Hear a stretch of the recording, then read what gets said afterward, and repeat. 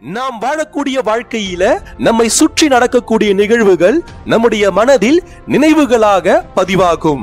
ஒரு சில நிகழ்வுகள் நம்மை சிரிக்க வைக்கும் ஒரு சில நிகழ்வுகள் நம்மை சிந்திக்க வைக்கும்.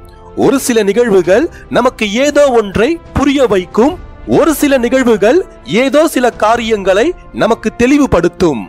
நேற்று நாம் அழுத ஒரு சில நிகழ்வுகள் இன்று நாம் அவற்றை நினைத்து பார்க்கும்போது நமக்கு சிரிப்பை ஏற்படுத்தலாம். நேற்று கோபத்தை ஏற்படுத்திய சில காரியங்களில் இன்று நாம் பக்குவப்பட்டிருக்கலாம். நம்முடைய ஆத்திரமும் ஆதங்கமும் கால ஓட்டத்தில் காணாமல் போயிருக்கலாம். நம்மை சுற்றி நடக்கும் நிகழ்வுகள் நம் மனதை பாதிக்கும் நிலையில் நாம் இருக்கக்கூடாது. நடக்கும் நிகழ்வுகள் எல்லாவற்றிற்கும் நாம் பதில்வினை ஆற்றிக்கொண்டே இருந்தால் நாம் வாழும் வாழ்வே ஒரு கேள்விக்குறியாகும். ஒவ்வொரு காரியத்திலும் நாம் உணர்ச்சி வசப்படும் போதெல்லாம் நம்மை சூழ்ந்து இருக்கக்கூடிய மனிதர்களையும் வாய்ப்புகளையும் நாம இழக்க நேரிடும். நம்முடைய வாழ்வில் நடக்கக்கூடிய எல்லாவற்றிற்கும் நம்முடைய உணர்வுகளையும் உணர்ச்சிகளையும் நாம வெளிப்படுத்தக்கூடாது.